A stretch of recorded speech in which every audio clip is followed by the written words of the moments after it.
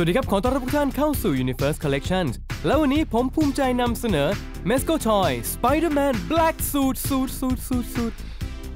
Spider-Man Black Suit นะครับ เป็นสินค้า PX Exclusive นะครับ มาในกล่องแบบคุกกี้นะครับ กล่องเหล็กนะครับ แล้วก็ด้านหลังครับ ก็จะมีภาพอาร์ตต่างๆ ซึ่งของเดิมเนี่ยนะครับ ในภาพโปรโมทเนี่ย เป็นชุดผ้าธรรมดา แล้วก็มีสกรีนตรงหน้าอกกับด้านหลังเท่านั้นนะครับ แต่ว่ามาตอนนี้เขาเปลี่ยนครับ ให้มาเป็นชุดหนังแบบนี้ครับ โอ้โห แกะออกมาแล้วนะครับ ต้องเรียกว่าชุดหนังทั้งตัวและโลโก้ทั้งด้านหน้าด้านหลังก็สวยงามมากเลยครับ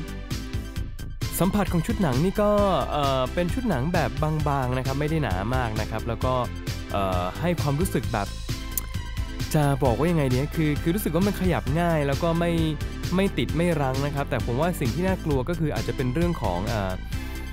ความเสียหายที่เกิดขึ้นถ้าเกิดสมมุติว่าเราเล่นได้ ไปเกี่ยวกับอะไรเป็นรอยขาดนะอาจจะทำให้วิ่งได้นะครับ แต่ว่าข้อดีครับสังเกตครับนี่ครับตรงข้อเท้าเนี่ยคือทุกส่วนที่เป็นข้อต่อเนี่ยเขาเก็บ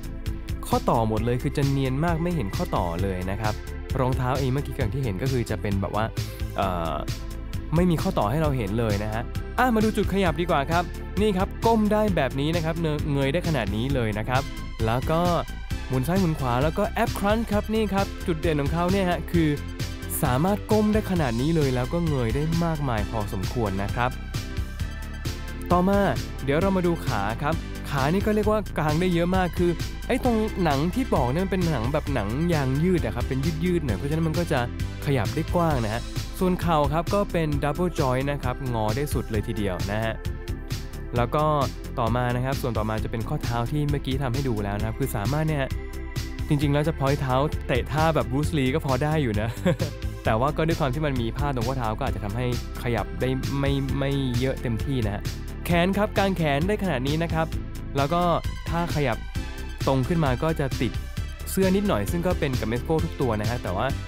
ข้อเสียของหนังเนี่ยพอขยับมากมันก็จะเป็นรอยยับนิดหนึ่งนะครับ แต่แต่ตัวนี้ยังมีไม่มากนะฮะเพราะว่าหนังมันค่อนข้างจะบางนะครับ แล้วก็ส่วนศอกครับก็ขยับได้เป็นดับเบิลจอยนะฮะข้อมือก็ปกติเลยครับขยับได้เต็มที่เลยนะครับ ต่อมานะฮะสิ่งที่ทุกคนกลัวคือว่าเนี่ยเวลาหนังมันขยับมากๆ แล้วมันจะเป็นยังไงนะฮะเนี่ยฮะก็จะดูตรงท้องเนี่ยครับคือผมไม่กล้าบอกว่ามันจะไม่ขาดนะเพราะหลายๆท่านต่างชาติเขาก็เหมือนขาดกันไปแล้วนะฮะเล่นจนขาดเลยแต่ผมว่าอาการขาดเหล่านี้มันเกิดจากการแบบ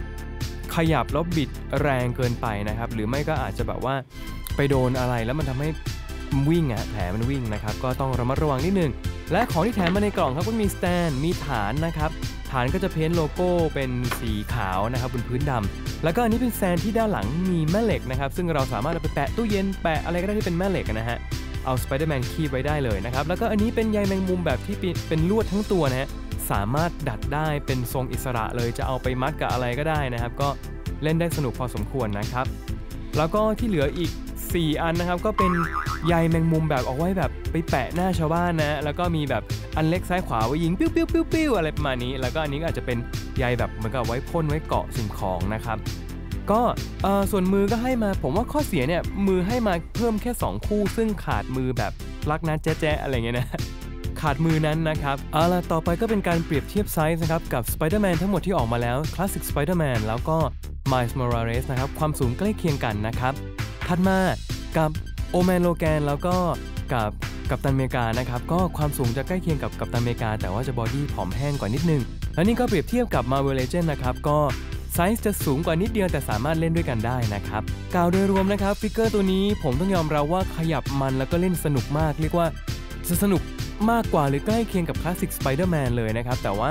ก็มีข้อเสียเหมือนกันคือให้มือมาน้อยไปนะครับ มือสำหรับปล่อยเว็บเนี่ยไม่มีแถมมาให้นะฮะแล้วก็อีกข้อหนึ่งก็คือชุดที่เป็นชุดหนังยางเนี่ยครับหนึ่งกึ่งหนังกึ่งยางเนี่ยมันค่อนข้างจะต้องได้รับการรักษาพอสมควรนะฮะก็อาจจะมีโอกาสลอกได้ในอนาคต หรือว่าถ้าเล่นไม่ดีดูแลไม่ดีมือไปเกี่ยวเล่นไปเกี่ยวสแตนไปเกี่ยวก็อาจจะขาดได้แล้วทำให้เป็นแผลวิ่งลอกมาเรื่อยๆนะฮะ ก็ต้องได้รับการดูแลรักษาพอสมควรนะครับ ก็ลองชั่งน้ำหนักดูครับ ระหว่างข้อดีที่สามารถขยับได้มันมาก ปิดข้อต่อได้ดีสุดๆนะครับกับข้อเสียที่กล่าวไปเนี่ยเพื่อนๆคิดว่าอย่างไรนะครับ แต่ผมเชื่อครับว่าแฟนๆ Spider-Man แล้วก็แฟนๆ Mesco ก็คงจะไม่พลาดใช่ไหมครับเอาละครับก็ขอขอบคุณที่ติดตามนะครับ แล้วพบกันใหม่คลิปหน้า สวัสดีครับ และเช่นเคยครับสำหรับทุกท่านที่สนใจสามารถติดต่อได้ที่ Facebook Fanpage mescotoys online by Toys ดีๆ ครับ